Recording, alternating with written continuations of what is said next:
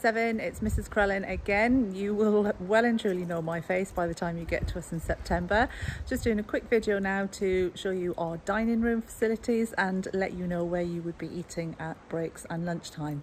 If you just take a look behind me, this is what we call our new court area, whereby on a lovely sunny day like today, it's nice to sit outside and be able to have your snacks at break and lunchtime. In a second, I'm going to walk you through to the dining room, but in order to do that so you can see everything firsthand, I'm going to switch things around so that you can't see me and I will walk you through everything that we do to try and give you some familiarity on a normal day getting your break and lunch.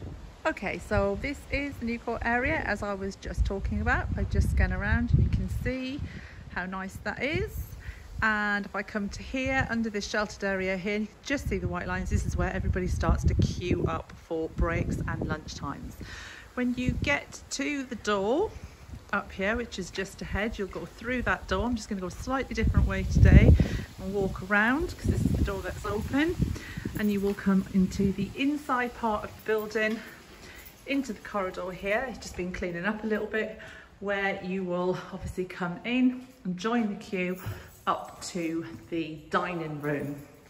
I'll walk up here really quickly and what we're going to walk into is the seating area of the dining room.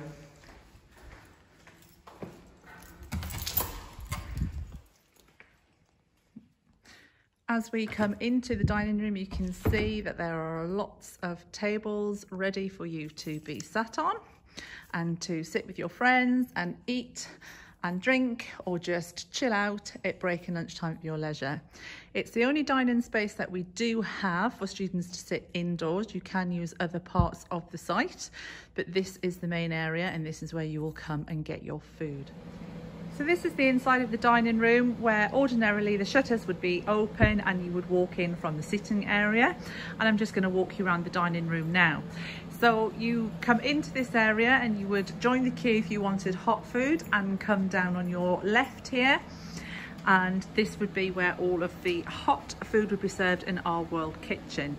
And just so you can get an idea about the kind of foods that we are selling this is a menu of ours. It's a week three menu. We have three weekly menus. We get week uh, one two and three and they repeat themselves in the term as you can see always roast dinner on a Wednesday which I'm sure you're used to fish and chip Friday and then the rest there's a variety of different things you can see here all the other bits and pieces that we serve from pastas to um, jacket potatoes etc and a range of prices there the hot food obviously gets served at this counter here with the jacket potatoes and all of the desserts. And if I just turn behind me, you can see that this is where our lovely salad bar would be, where you can help yourselves to salads, cold meats, um, eggs, rices, all that kind of thing, and fruits in the baskets there.